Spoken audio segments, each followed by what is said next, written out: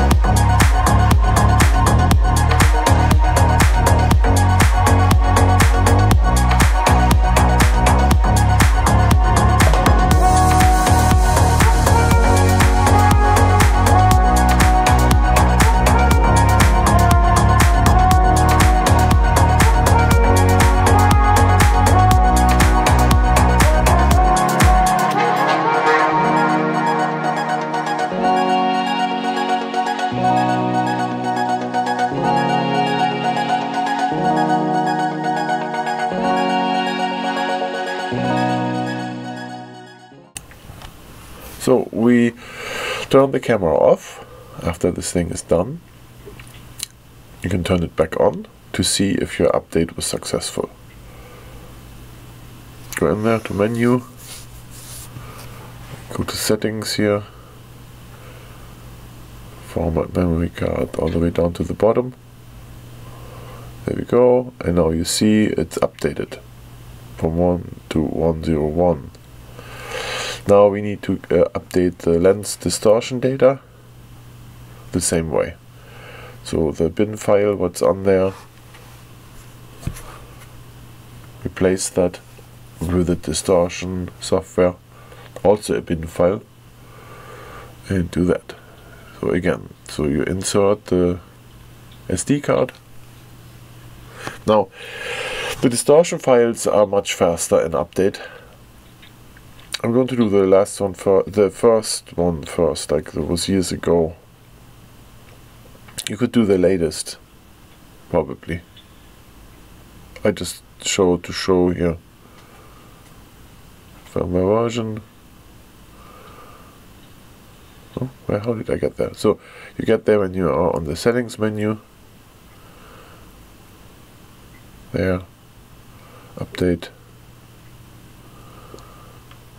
Now it shows uh, lens distortion update 1 to 2.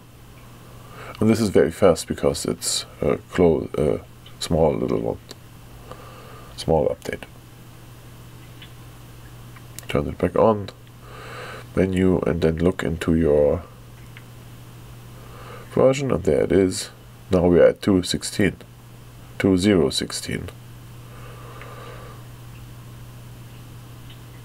Okay, there was one more out there. Um,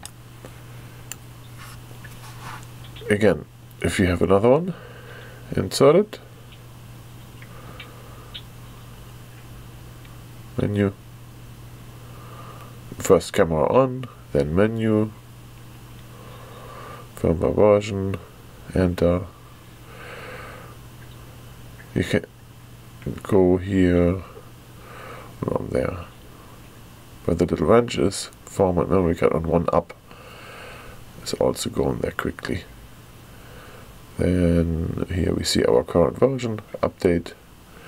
So 2016 to 2017, update, yes. You see, it's very fast. It's just the lens distortion data. There we go. And then our update is finished.